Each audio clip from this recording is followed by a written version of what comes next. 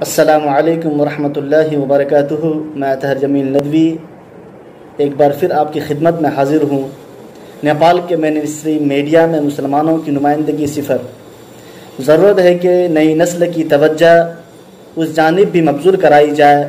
ان کے سامنے میڈیا اور صحافت کی حقیقت کو کھول کھول کر بیان کیا جائے اور انہیں اس بات کا یقین دلایا جائے کہ ڈاکٹرز اور انجینئر سے کی طرح صحافت اور میڈیا کا شعبہ بھی کافی اہمیت کا حامل ہے۔ ہم اسلام کی سربلندی اور حلال لوزی کے لیے میڈیا اور صحافت کو خوب استعمال کر سکتے ہیں، جس سے ہماری دنیاوی زندگی بھی سنورے گی اور آخرت کو بھی ہم سنوار سکتے ہیں۔